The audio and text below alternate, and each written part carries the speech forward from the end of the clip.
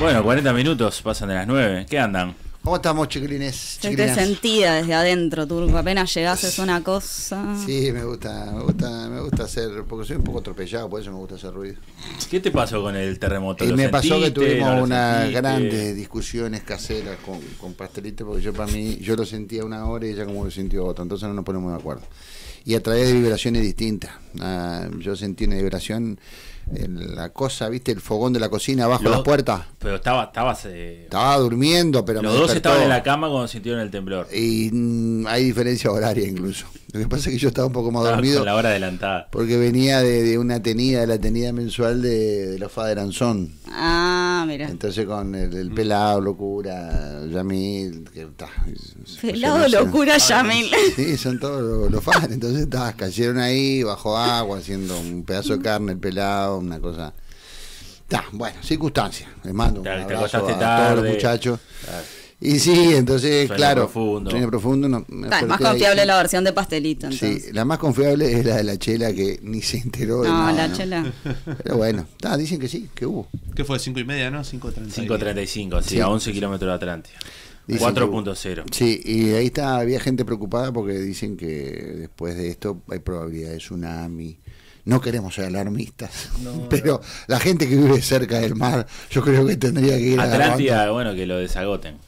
Atlántida y, y toda la franja, Sí, ¿no? sí, sí. La costa de Oro bastante larga. ¿Qué pasa ¿Cómo con la playa Ramírez? ¿Puede haber un tsunami en la playa Ramírez? Y esta es No, perfecta. es tan larga, es tan perfecta larga como, que no- no perfecta llega como nunca. para eso. No Yo llega creo nunca. que ni en la Ramírez ni tampoco en la Buceo por dos razones. Porque en la Ramírez está Yeimaya. Nos Y- protege. Y allá es en la Buceo este. está el coreano, Claro. Ah, claro. sí, sí. saludando al sol. Saludando al sol. Entonces yo creo, protegen. Que, yo creo que están, esas costas están protegidas. Bien. Bien, bien, bien. Así que está. Bueno, ¿qué van a picotear hoy? Bueno, continúa la De crisis todo. hídrica, ¿no? No te puedo No creer. Chocolate No por la noticia. creer. Vos tenés, yo pensaba que podíamos eh, también con la audiencia pensar nuevos términos para, para el agua. Mm, ¿No? O sea, ya tenemos tres, se pueden inventar más. Como, ¿Cómo eran los términos? eh, segura, potable y bebible. Y no, y agua apta, según el secretario de la presidencia, apta para el consumo humano. ¿no? humano, Está Ah, pero Sería-. Bueno, Malaga, pero Sí, una cuarta pero denominación. una, una denominación más corta. Sí, Este, eh, no sé, a medida que vayan pasando los jerarcas y, y vayan pasando las nominaciones del fenómeno, Sí. vamos a te- seguir teniendo nuevos términos. Porque ¿Se seguirá gritando en el, en el fútbol? Eh, Acá te dejo afuera, tía, No, porque claro. eso que nunca jugaste al fútbol, ¿no? No, Pocas no, veces. Hay un término futbolístico que es agua. Le gritás a un Agua, agua. claro, Sí, sí. agua. Ah, agua. Sí, ¿Se mandala. seguirá gritando o ya no se grita? Yo creo que es de sal. le, le gritamos, ahí está. Lo que pasa es que. Cuando eh, agua, Está, se Ah, se Estás haciendo agua. Mm. Estás no. haciendo agua. Hay Sí. que cambiar todo eso. Esa es buena, yo creo que hay que ponerle, hay que buscarle, hay que buscarle porque eh, en realidad hay que sacarle la iniciativa del gobierno, la iniciativa en la inventiva. ah, por, por Porque eso, hay tiene que una ser inventiva, una inventiva brutal, ¿no? O sea, Sí, que claro. escuchar a decir ayer, según dicen que dijo la ministra de, de Salud en la comisión, que el agua es sí. potable. Y lo confirma después, ¿no? Lo confirma. Pero, lo eh, confirma. de- pero es más raro todavía después en, en su cuenta de Twitter cuando pone para algunos es potable y para otros no, según cómo la sientan. Sí, Es- claro. Es muy loco eso, para algunos es potable y para Y otros está no. muy bien ese gusto del consumidor. Yo lo, lo que pasa es que... Porque es un tema sensorial para la ministra. Claro, pero hablando, no sé, un poco en serio, o sea, el... el- el- Está el- bien, en lo potable se, se incluye lo sensorial, o sea, cuando se habla de lo potable. Pero lo O sea, quienes tienen, que- creo que quienes manejan el, el término de potable se incluye ahí también este, lo sensorial. Yo creo que lo- lo- los expertos en comunicación deben estar agarrándose los pelos. ¿Por qué? Porque es muy fatal la, la, la, la, la- la- la prueba de realidad, la prueba del 9 que vos podés hacer eh, con eso, abriendo la canilla. Claro, Abrís la canilla claro. y ya vos decís, ¿y esto qué es? O sea, ¿es vivible? Y, y no, porque, viste, tenés un cloro, tenés, aparte de la sal, bueno, yo qué sé, yo en mi caso estaba por ser este, hipertenso e hipertrofiado, Todo muchas tenés. otras cosas, mm, lo noto más, pero ya está, o sea, es la prueba del 9, entonces ponen capas y capas y capas y capas de, de- de nombres para hacernos. Ahora, es que, digamos, el- el- no sé, yo no salgo de mi asombro de- del desatino de la comunicación de gobierno, ¿no? Porque que un desatino que no es solo de comunicación, que ya las pruebas este, nos remitimos, que también es un desatino de gestión de, de toda la crisis esta, ¿no? Porque es como que había una frase, ¿ustedes se acuerdan hablando otra vez de, de fútbol? Creo que era de de un golero de Peñarol, el, el Popi Flores, ¿no? Que este había una, no sé, parece que era bastante goleado en, en alguna época. Entonces circuló aquel chiste de no te tires Popi que ya entró. Sí, sí. Este, sí, sí. Entonces, este, el gobierno reacciona más o menos de esa manera. Se tira tarde a todas la- la- la- las pelotas, ¿no? Tarde, o sea, ¿qué tarde? Tarde en este, decretar la crisis hídrica, tarde en este, implementar las primeras este, me- Y medidas. darle agua a la población Darle vulnerable, agua a la población. Tarde en reducir el costo sacando el impuesto. Claro, en ver Capaz las que en algún momento se baja la tarifa de 12, no sé, pero ya va a ser tarde también. Parecería que en este momento, dado que, que eso que no hemos encontrado soluciones eh, de- demasiado grandes o que siempre venimos de atrás y que ahora hay unas lluvias, yo pensaría que sí que la apuesta no es a seguir pensando nuevas cosas, sino a remémosla desde acá, no movamos ninguna pieza más. Porque digo, en esto de la inventiva, Claro. seguramente hay más propuestas desde este, la ciencia, la salud y demás, Sí, claro. desde, desde lo ambiental para, bueno, seguir previendo, bueno, ¿qué pasa? Si ahora llovió tres días, pero después no llueve, Claro. por 30, eh, va a dar con Velastiquí, hay que pensar otras alternativas, eh, y no parece estar eso, ¿no? En, No, no, en no, no, no parece, pero aparte tampoco parece eh, eh, el gobierno hacer algo que en estas cosas parece, parece, la redundancia más o menos Perdón, manda un razonable. mensaje dice, así sale el agua, no sé si lavarme la cara o el culo, pone año. ¡Qué horrible! Y me hizo reír, perdón. No. El gallego de las piedras, dice. Eh, gallego, bueno. ordinario Hay el foto- gallego. hay foto No, manda agua. video del agua. Uh, este, no, pensé que era otra cosa. se sale Ah, mal, pero, sale pero- mal. pero sale agua de la canilla, entonces no Sí, es como sí, dijo sí, sí, Fernando. Alberto Fernández. Según la zona, la- el, tema de la turbidez y, y demás. Pero lo que, no, lo que yo decía es que hasta la falta, una extraña falta de reflejo político, ¿no? En, en Sí, decir, estamos, estamos con los nervios puestos este, en esto, incluso para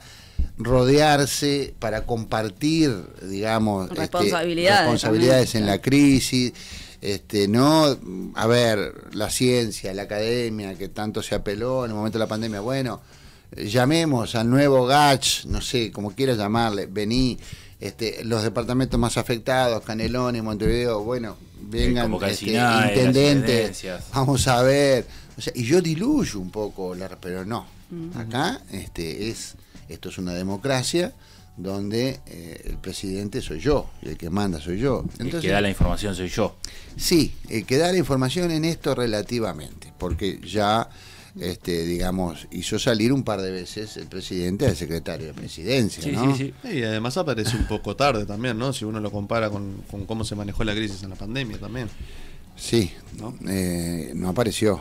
No, No, claro, claro, o con sea, es, eso, es otro tipo de responsabilidad. Solo en, la, en aquella conferencia. Es otro tipo de Solo, responsabilidad. solo en esa conferencia nada más y después alguna declaración pública, ¿no? Sí, Pero que bueno, si en algún momento había aparecido esto de que fuese el único vocero en relación a la crisis, eso tampoco este, se cumplió no se pidió que se cumpliera más, pero no, o sea, pasan estas declaraciones como Rando, que no da declaraciones después de esa instancia, pero sí publican sus redes. eh, sí, claro, ahí está el desafine de nuevo, ¿no? Bueno, o sea, falta que solo... Que también presi- esperaría- La vicepresidenta de OCE ahora a, a recomendar jugolín, digamos, ¿no? Porque ya nos recomendó Coca-Cola. Este, Que digo que igualmente, por lo menos eso en lo personal, esperaría otra actitud de Rando. No para poner lo que puso, pero sí, o sea, si, si, si la propuesta del gobierno era que solo hablara el presidente, lo que esperaría es que hubiese una ministra de Salud Pública que en realidad tomara la posta y pudiese contradecir ¿no? ciertas versiones. Está, lamentablemente lo que está es reafirmando la, la versión del gobierno, ¿no?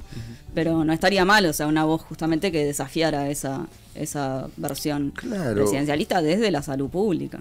Yo creo que lo que lo afirma es eso, es, es el desafine este, en materia comunicacional, y repito, y no solo comunicacional, sino también que eso permea la gestión, porque no me pueden de salir a decir ahora que el agua es potable, después No, no, de hace no, dos meses no. que venimos, Que vienen sustituyendo los valores. Pero claro, y por dos días que bajan los valores a topes que, tuvieron que hacerlos crecer Claro. tres Claro. veces más, ¿no?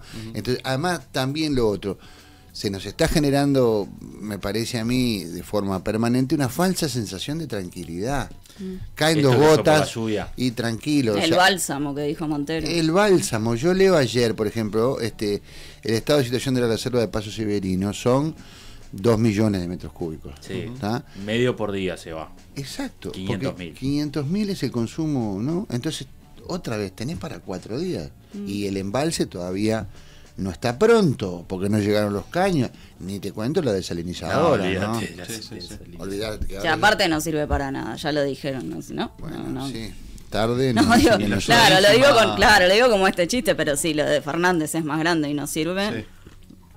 Sí. Es una, eso es la otra, ¿no? Lo que decíamos, ¿eh? una, una ayuda ínfima, dice el presidente. Pero yo creo que en este Toda ayuda es bienvenida, pero eso es ínfimo y por el momento no. Exacto. ¿Y eso cómo lo ven? ¿No? Otra, o sea, o- otra eh, guerra diplomática sorda en puerta. Y sí, porque claro, si ya había inconvenientes, a esto se le suma todavía la participación de la Intendencia, yo creo que eso complica más, porque si bien el presidente quiso salir a, a mostrarse él también muy diplomático cuando le preguntan, no, no, todo lo que sume, está bien lo que hagan las Intendencias, eh, yo me imagino la molestia que debe haber generado eso en Cancillería y en Presidencia. Pero ni hab- 850 litros por, eh, por hora daría Ta. esta, esta, esta máquina de- del gobierno argentino. 850 800 litros por hora, o sea, son 1700 sachets de medio litro por hora. por hora. Está bien. Pero además ofrecieron otra cosa, ¿no? Este, Bueno, sí, además del desplazamiento de un oficial, tres, sub- tres suboficiales para operar la maquinaria también. Claro, pero Este, o- no sé a ustedes cómo les puede caer. un buque de la Armada de tipo Eso. aviso con cisterna de Ahí 200 va. toneladas, capacidad de agua prevista por agua y saneamiento eh, argentinos, Ahí va. que vendría a ser la OCE de, de Sí. allá. Ahí va. Mm. Pero, digamos, uno no puede ser tan petulante de ante un obsequio, decir es poco, es mucho el obsequio, porque es un obsequio, ¿no? O sea, tenés que ser un poco este, decoroso en eso. Pero no, pero eh, no, no, digamos, ahí va, pero no, no se puede decir, aceptamos, pero te acepto tu regalo, pero dejarlo en, Mm. Pero en en la mesa de luz de tu casa, que te lo pido yo cuando pueda quiera, voy ¿no? a buscarlo. Pero está, teníamos algún Sí, sí, audio la calle, tenemos a la calle hablando sobre esto. La respuesta de- del, del ofrecimiento del gobierno argentino, que es formal, dice que aceptamos. No sé de dónde sacaron que no acepté. ¿Cómo? Perdón, aceptamos la ayuda. Bien. Simplemente, no, déjame porque está bueno esto, porque lo que, lo que tú afirmabas recién lo leí en muchos lados, entonces nos da la oportunidad para, para aclarar. Aceptamos. Punto. Sin desmerecer la ayuda, porque en este momento no podemos hacer los crap, porque todo sirve. Entre lo que consume Montevideo y parte de la zona metropolitana por día, esta ayuda que, insisto, no la descartamos, la aceptamos y la tenemos por las dudas, es ínfimo. La respuesta fue justamente stand-by por si en algún momento la, la necesitamos. Claro, no, no queremos hacer los crack, pero no, por ahora no aceptamos la ayuda. Por si en algún momento la necesitamos es muy raro, porque ahora no estamos teniendo desalinizadora, ¿no? Digo, No, así sea no, por algo. igual, no. Sí. no, igual, ¿Cuál igual no, nos ofrecen desalinizadora, No, no, no. Argentina nos ofrece otra cosa, nos Claro. ofrece ¿Pero qué es agua potable, eh, lo que decía Enzo recién, ¿no? Sí. No era una desalinizadora, No, porque no. Delgado hablaba de que era más grande que lo de Houston. Una No. cisterna de 200 toneladas de, eh, de- No. de capacidad de agua provista por AISA y mil- eh, una, una máquina de producción de 1700 sachets de medio litro por hora. Claro, está bien. No, no, no, no ofrece No de- desalinizadora. desalinizadora, pero no importa, o sea, debería ser complementario, o sea, Eso. no. ah, mm, Dijimos que llegaba hace un mes y medio de la desal- desalinizadora, no llega. Aparte la desalinizadora va a dar para abastecer tres hospitales. Bien, y, y- y decimos que, que gracias, pero me reservo el derecho de admisión. Yo que sé, me nos parece que son, son gestos este, poco, poco amistosos y mucho más eh, eh, en, en el marco que lo encuadra este, el presidente este, cuando sale a hablar de estas cosas, ¿no? Sí. Tuvo unas de- repercusiones medias, medias complejas en Argentina Sí, esto, ¿no? bueno, antes de eso, eh, Mm. ayer estuve preguntando en Cancillería a ver si, si se, se había habido había habido otra otra especie de, De respuesta.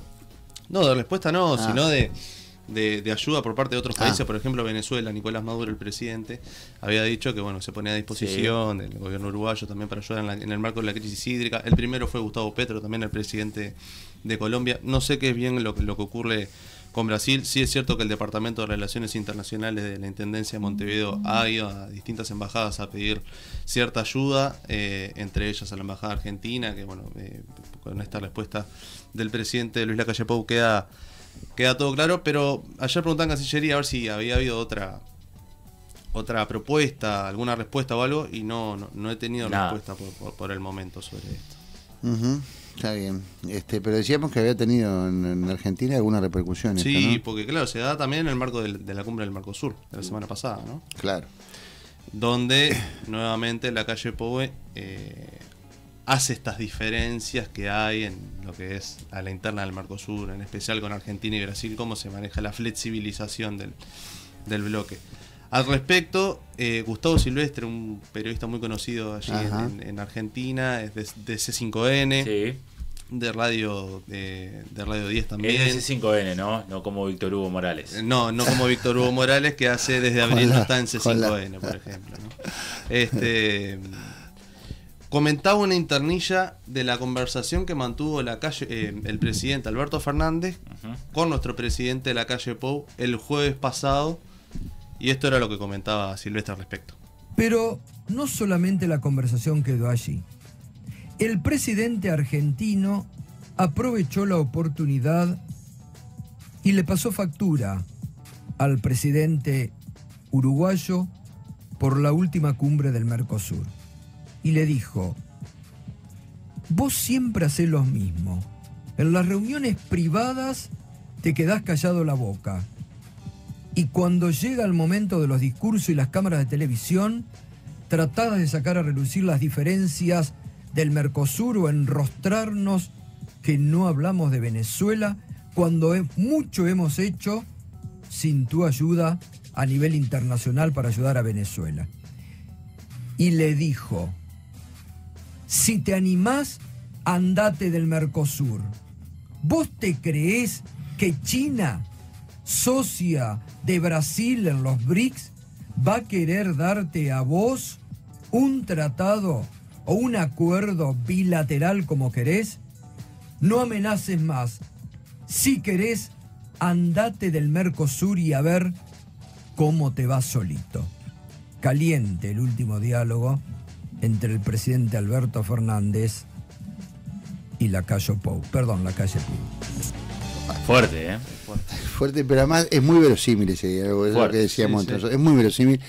Y además a mí me gusta el relato del periodista porque es como que lo hace como una, Sí, sí. una No, un pelea. además que tiene una un- pelea. un acceso bastante interesante Claro. también a, a- a la Casa Rosada. Claro, pero además lo hace como una pelea típica de, de pareja porteña, ¿no? Sí, sí, sí, sí, en sí, el sí. tono.